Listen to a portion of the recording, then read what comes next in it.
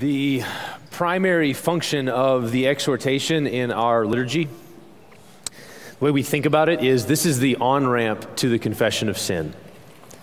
So we, we as pastors try to lay out what God calls us to do so that we can then confess to God what we have failed to do so that we can receive mercy because of what Christ has done. That's how this fits.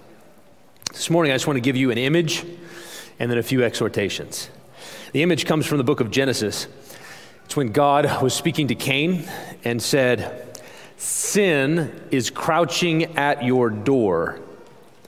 Its desire is for you, but you must rule over it.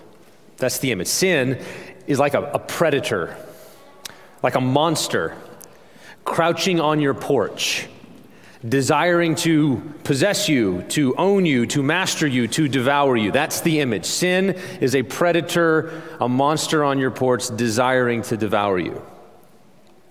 But let me just get more specific. Because if the New Testament is any example, sometimes you just need a good list of sins. Here's what's crouching at your door. Okay, so I want you to listen here. Listen for the monster on your porch envy and rivalry covetousness, meaning wanting what other people have so bad that it makes you sad, discontentment, grumbling, ingratitude for God's kindness to you, sexual immorality. Pursuing sexual gratification outside of marriage, whether through pornography or fornication or adultery, drunkenness, gluttony, unrighteous anger, hatred, malice, bitterness, gossip, slander, malicious speech, cruelty, cowardice, laziness and sloth, disobedience to parents, just plain old selfishness, lying, deceit, either believing lies, spreading lies, or both, pride, haughtiness, boasting, self righteousness. Sin crouches at your door, and its desire is for you, to possess you, to devour you. So here's the exhortation. First, if that monster is still crouching on your porch, beware. Don't make peace with the monster. Don't coddle your sinful desires. Don't nurse it and try to befriend it. Like, don't secretly feed it scraps under the table. You can't carry fire next to your chest and expect not to get burned. You cannot raise a dragon in your house and expect not to get eaten. Now, second, I expect that for some of you, the monster already pounced.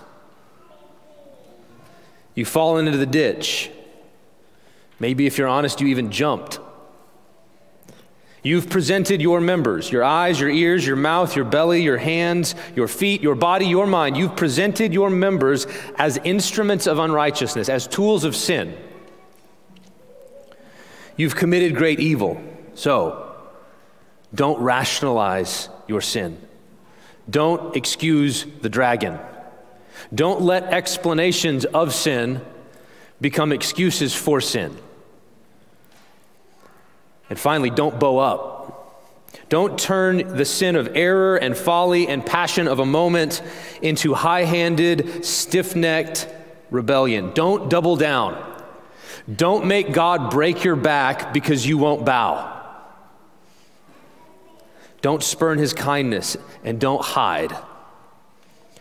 Don't wallow in ungodly grief alone. Come out into the light. Because some of you are terrified that someone is going to find out. I have some bad news. He already knows, and he's on his way. And I have some good news.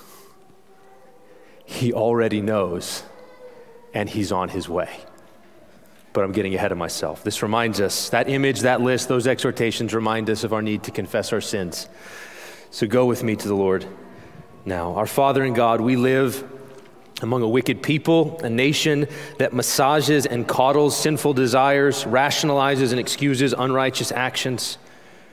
Rather than making war on ungodliness, we make peace with all manner of evil. Indeed, we call good evil and evil good, and we mock at virtue and godliness. We suppress truth and unrighteousness, and we expect you not to see, not to act. Our nation's presumption is a form of idolatry. We are stiff necked, hard hearted, high handed in our rebellion, and this is a great evil.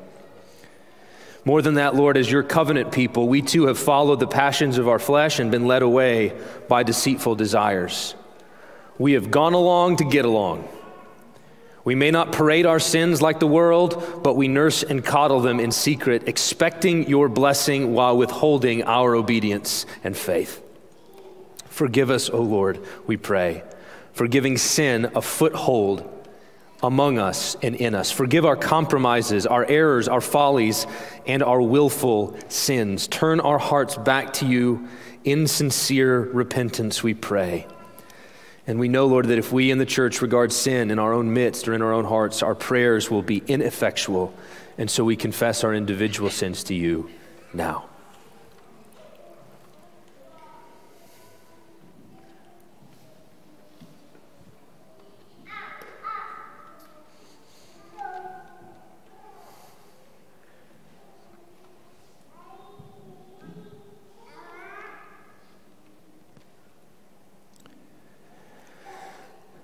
Father, when we loved the darkness, your holy light was hateful to us. We fled from you. Your, your knowledge of our sinful hearts was bad news. But when by your Spirit, Lord, we turn back to you, we find that it was goodness and mercy pursuing us all along. You are not another monster seeking to devour, but a great Savior who delivers us from the world, the flesh, and the devil. Thank you, O Lord, for Jesus, who died for our sins, was raised for our justification. Help us now, Lord, to walk in the newness of life that He offers us by His Spirit. We ask this in Jesus' name. Amen.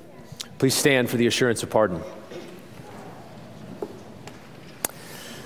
Church, you have confessed your sins. Now, hear the good news. When we confess our sins, He is faithful and just to forgive us our sins and to cleanse us from all unrighteousness. Therefore, to all who humbly seek the mercy of God, I say to you, in Jesus Christ, your sins are forgiven.